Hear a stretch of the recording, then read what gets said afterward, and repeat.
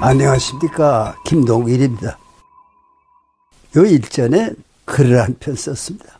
그 짧은 글이지만 뭐 느끼는 바가 하나 썼는데 사실은 먼저 유튜브에 하려고 그 글을 썼는데 벌써 그게 내 홈페이지에 나갔어요. 그래서 신뢰가 된 점도 있어요. 이걸 먼저 여러분에게 들려드리려고 했는데 그 무슨 복잡한 내용도 아니에요. 제목은 소크라테스 형 그렇게 붙어 있습니다. 뭐 대개 무슨 내용인지 짐작하실 분들도 있을 겁니다. 대한민국에는 석사, 박사도 많고 철학으로 밥을 벌어먹는 사람들도 상당수 있다. 그러나 그들은 모두 소크라테스에 대해서 흥미를 잃었다. 그를 찾기는커녕 그 옆에 가까이 가려고도 하지 않는다. 정치한다는 자들은 더하다. 소크라테스를 잊어버린 사람도 많은 것 같다. 그런데 그 소크라테스를 테스형, 테스형 하며 목매어 찾는 가수가 대한민국에 꼭 한 사람 있다.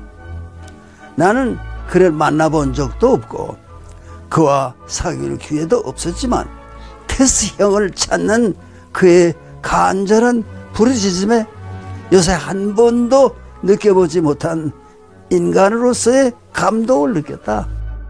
스스로 시를 짓고 노래를 만드는 타고난 재능을 가졌을 뿐 아니라 그는 세상이 잘못되어 가는 것을 누구보다도 뼈저리게 느끼고 가슴 아파하고 있는 듯 하였다. 오늘의 정치가 어디 정치인가? 대통령이 되면 원자력 발전을 중단하겠다고 한마디 한 그 미련한 약속 때문에 대한민국 국민에게 사조의 손해를 보게 하는 그런 인간을 대통령으로 섬기는 이 썩어 문드러진 나라를 나훈아는 개탄하고 있는 것 같게 나에게 느껴졌다. 그의 말대로 잘못되어가는 세상 아닌가? 사랑도 거짓말로 하고 예술도 거짓말로 하고 정치는 거짓말 하리고는 할 수도 없는 한심한 세상이 되었다. 뭘 먹고 사는가? 서로 속여 먹고 산다. 소크라테스라도 한번 크게 불러보고 싶은 심정이 되는 것이 어찌 나훈아 혼자뿐이겠는가? 짧은 글입니다. 그렇지만 나도 뭐가 느끼는 바가 있어서 이런 글을 한 편 썼습니다. 나는 여행 가수가 오히려 양심 있는 사람이어서 이 시대를 같이 보면서 이걸 세상이라고 사냐? 정신 차리자. 나는 그런 말로 이해를 했습니다. 그 오늘 무슨 제목으로 한마디 할까 생각하는 거 아니에요. 모두가 제정신은 아니다. 대한민국 국민이 제정신은 아니에요. 이러고 살다 뭐가 될 겁니까, 이제 앞으로. 대한민국이 어디 갈 겁니까? 예전에도요, 옛날에도 닭싸움이 유행했던 때가 있습니다. 한국보다도 중국이 그랬죠. 그 닭을 잘 싸우는 싸움 닭을 구해서 그걸 더 잘 싸우게 하는 그런 일들을 노력을 많이 했습니다. 그래서 또 닭싸움을 지도하는 그런 인물도 있었습니다. 그 조련사라고 볼 수가 있죠. 근데 어떤 뭐 임금님이 잘 싸우는 닭을 하나 찾아가지고 그 사람한테 부탁을 했다 하잖아요. 좀 어떻게 더 잘 싸우는 닭이 되게 해줘요. 그 두고 가시오. 그래서 열흘 있어도 소식 없어요. 어떻게 돼서 아직 멀었습니다. 뭐 스무 날, 뭐 한 달 돼도 소식이 없어요. 그다 한 40일 되고 나서 이젠 찾아가셔도 되겠습니다.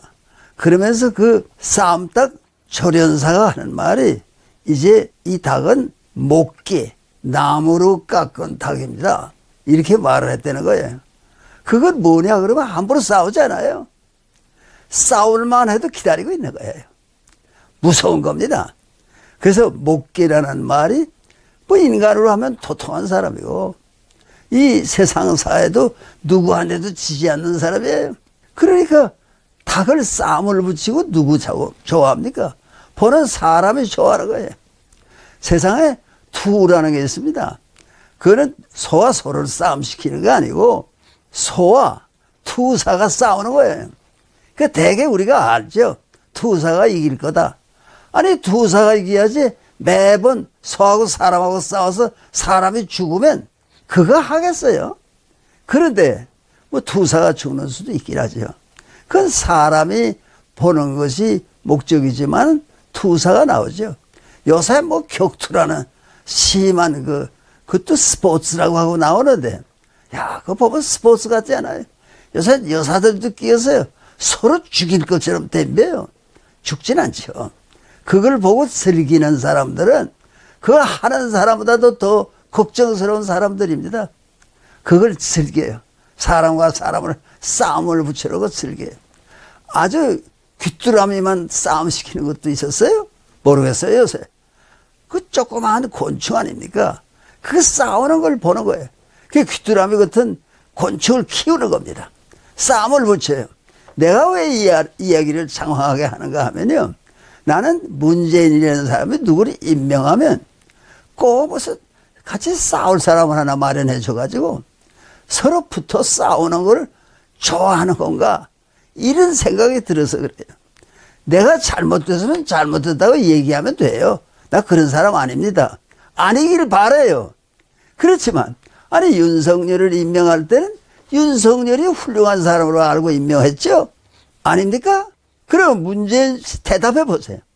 그, 그는 능히 적폐 청산을 할 사람이다. 이렇게 믿었죠? 그런데 지내보니까 아니라고 생각합니까? 우리는 적폐 청산 한다고 봐요. 그래 대통령은 왜 아니라고 생각하는가 모르겠어요. 뭐 어떤 사람 내세웠더니 국민이 하도 반대했어요. 끌다 끌다 그 사람 내보냈습니다. 새롭게 또 장관을 하나 내세웠는데 이 사람도 얼마 가니까 꼭 이 사람하고 싸움이 붙어요. 그러면 그 새롭게 법무 장관 임명한 사람은 누굽니까? 그것도 문재인이에요. 그 두 사람을 다 임명을 했으면 이게 둘이 싸우면 어떻게 해야 되냐? 그건 문재인이 결정해야죠. 우리로 결정하라는 겁니까? 아, 만나 싸워요. 얼마 가다가는. 아, 그 지금 검찰총장이 하는 일 내가 맡아 해야 돼. 그런 거요 사실은 법에 없습니다. 그러면 뭘 만들자는 거예요 도대체? 이거 보고 즐기는 겁니까? 투를 보듯이 닭싸움을 보듯이 즐기는 겁니까? 왜 이런 꼴을 해놓고 아무런 책임이 없는 듯이 하는 거는 큰 잘못 아닙니까? 이렇게 되면 나라가 뭐가 됩니까? 어? 아니 윤석열은 뭐 되고 추미애는 뭐가 됩니까? 그 사람들도 다 대학 교육 받은 사람들 아닙니까? 지 구실을 하게 해야지 밤낮부터 싸우게 해요. 그 우리 국민의 입장은 이렇습니다. 아까 윤석열 좀 하게 해줘요. 그 권력이 말이에요. 아니 불러서 자꾸 싸우면은 그 장관 장관은 내가 또 다른 자들을 줄 수도 있잖아. 저 사람은 임기 끝나면 나가야 돼. 그 사람대로 좀 해주지. 이렇게 못합니까? 그러면 윤석열이 자기 힘을 다해서 국가를 위해서 어? 아주 큰 일을 했다. 그러면 상 주면 되는 거죠. 어? 그 싸움을 그럴 리가 없지만은 문재인은 즐기는 겁니까? 둘이 싸우는 게 즐거워요? 아이, 국민은 괴로워요. 왜? 아무런 효과가 없으니까 그 두 사람이 싸워서 대한민국이 잘 될 게 있습니까? 뭐가 있습니까? 아무것도 없어요. 싸움을 붙이고 즐거워하는 것은 나쁜 취미입니다. 절대로 있어서는 안 됩니다. 난 책임 없어. 책임이 왜 없어요? 왜 윤석열을 왜 검찰총장으로 임명했습니까? 책임지세요. 어? 왜 추미애를 법무장관으로 임명했습니까? 책임지세요. 두 사람이 싸웁니다. 책임지세요. 책임 없이 그냥 나갑니까? 그렇게는 안 될 거라고 나는 생각하면서 하도 답답해서 한마디 했습니다. 고맙습니다. 안녕히 계십시오.